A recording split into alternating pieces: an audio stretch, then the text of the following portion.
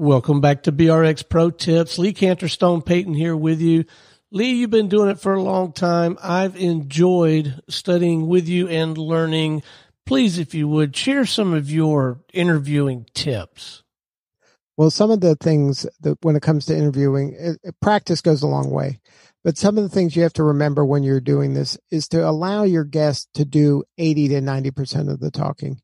Your job is to tee them up for them to look smart. It isn't about you looking smart.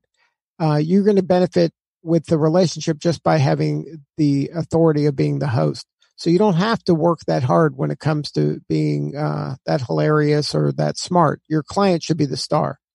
Another thing is don't lean too heavily on the talking points that were submitted.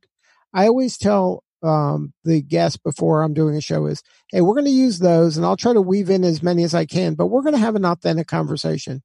I'm not afraid to let the conversation meander topic to topic because you never know what's going to come up, come up in that conversation.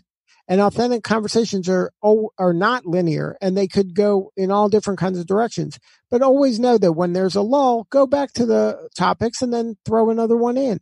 But you should not be afraid to just meander like a normal conversation would. It's more listenable anyway for the listener because they think that they're kind of voyeuristically listening into a person's conversation, which they are.